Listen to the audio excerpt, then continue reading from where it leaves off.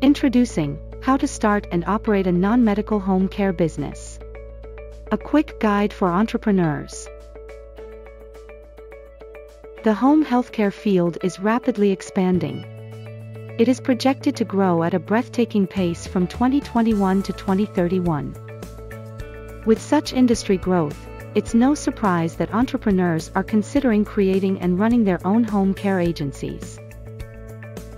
Non-medical services is one of the fastest growing segment of the home care industry.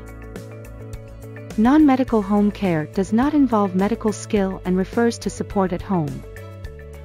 This book, How to Start and Operate a Non-Medical Home Care Business, will guide you through the process of starting and operating a non-medical home care business.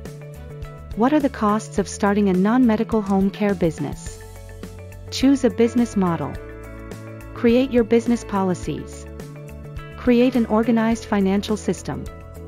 Recruit and hire office staff. Set up your office. Develop your marketing plan. And so much more. Click the link below this video to get your copy today. Or learn more by visiting the official website at iamshannonsimpson.com.